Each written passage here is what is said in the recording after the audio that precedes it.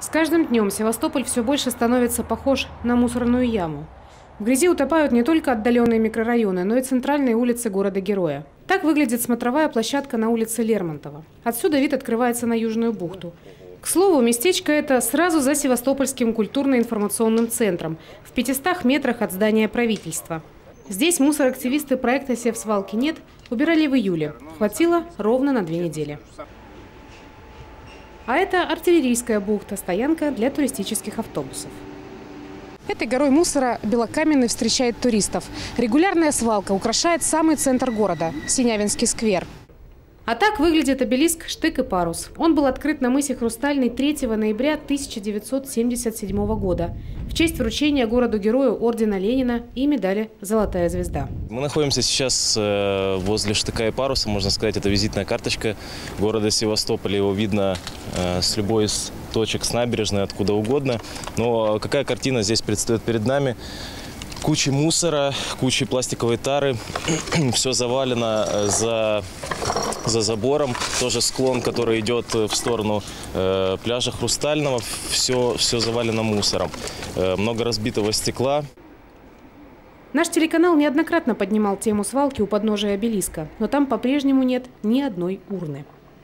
Я думаю, учитывая, что в правительстве 2200 человек, то наверняка есть целый отдел, который отвечает за памятники и э, исторические зоны.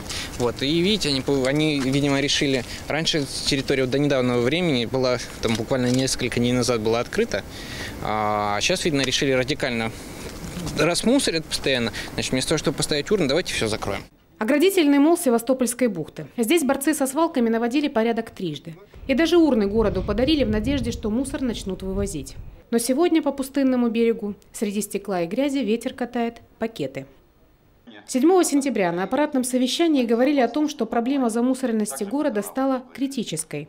Однако доверять информации общественников по количеству свалок в городе и их местоположению чиновники не спешат. Они считают этот вопрос политизированным. Значит, этих полных свалок нет. Мы сделали мониторинг, свалок этих нет. Да?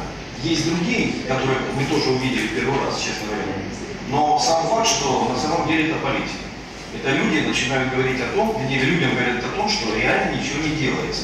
Если бы ничего не делать в городе, я полагаю, что весь город был бы состоялся одной большой свалкой. Вчера наш всю, э, так сказать, всю нашу деятельность, и наш сайт, и наши субботники, и наш каталог назвали э, провокационными и, э, так сказать, пришли к выводу, что единственная наша цель, все, все наши действия, они портят имидж города.